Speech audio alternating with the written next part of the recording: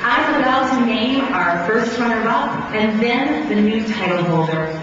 Both are important roles because if the new title holder is unable to fulfill her reign, then the first runner-up will advance to the title. The first runner-up is